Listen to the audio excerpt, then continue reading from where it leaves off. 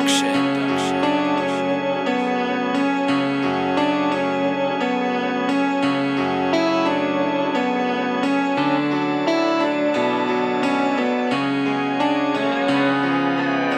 Save the hell yes and hallelujahs. Kenny Douglas. let me kick some knowledge to ya. A word of caution to ya. If little or younger in your name, that don't even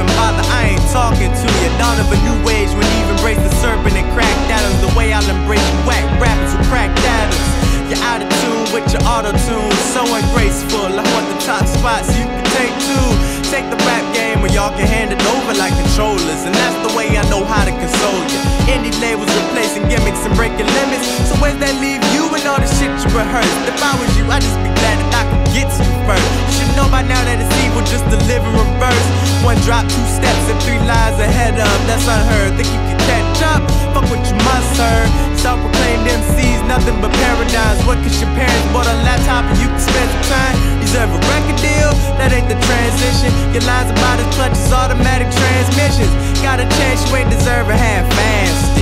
But quick you say you drop another classic, but if I'm anything, it's an understanding man. So I gotta place half the blame upon your fucking fans who prey on prosthetic prophets who practice preaching product, produced by heaping praises on prepackaged problem product. This wasn't just to say you suck because you do.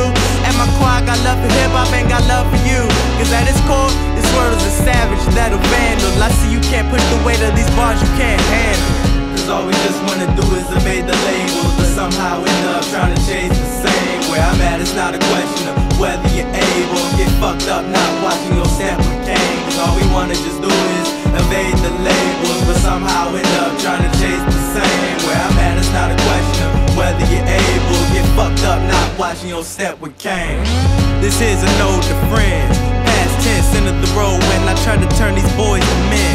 I figure they over the hill like Tommy. Tried to cut the umbilical and separate them from the nipples of their mommies.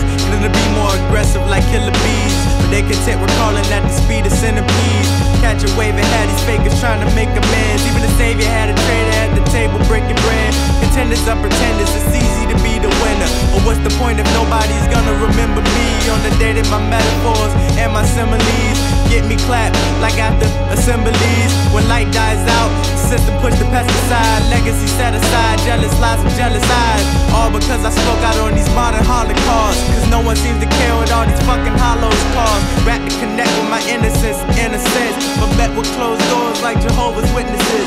When they box me and you're asked to speak before they pray, tell me what the hell you gonna say. What can you say?